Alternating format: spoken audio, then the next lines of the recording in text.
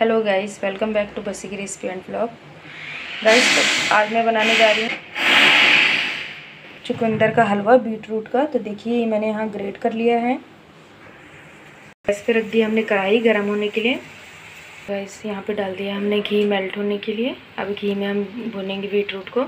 इसकी आज हम बर्फ़ी बनाएँगे। हमारे बीट रूट ग्रेट किए हुए ऐसे हमारा घी मेल्ट होगा, हम इसमें बीट रूट को काफ़ी अच्छी तरीके से भुनेंगे।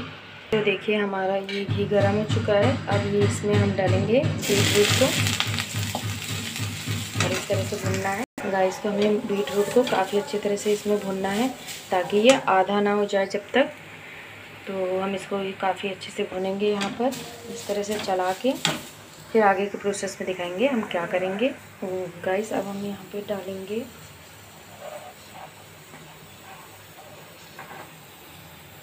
एक कप दूध। और डाल के इसको चलाएँगे। दूध डाल के हमें इसे खूब देर तक अच्छे से पकाना है।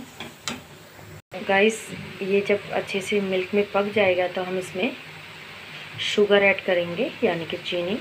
तो इसको हम काफ़ी देर चलाते हैं और धीरे धीरे ये चलाते चलाते कम हो जाएगा।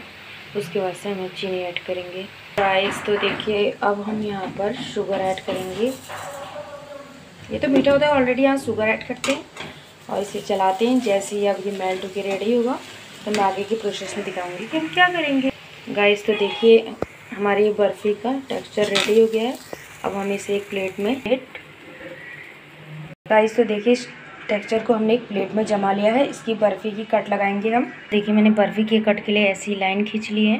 तो देखिए, हमने स्पून की सहायता से इस तरह से निशान बना लिया है। गाइस तो हमारी ये देखिए बर्फ़ी रेडी हो चुकी है बीट रूट की और इसमें हम लगाएँगे ये ड्राई फ्रूट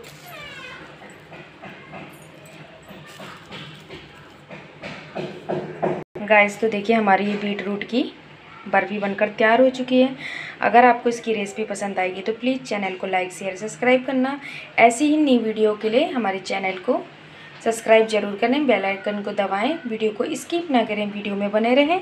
मिलते हैं नेक्स्ट वीडियो में। Thank you.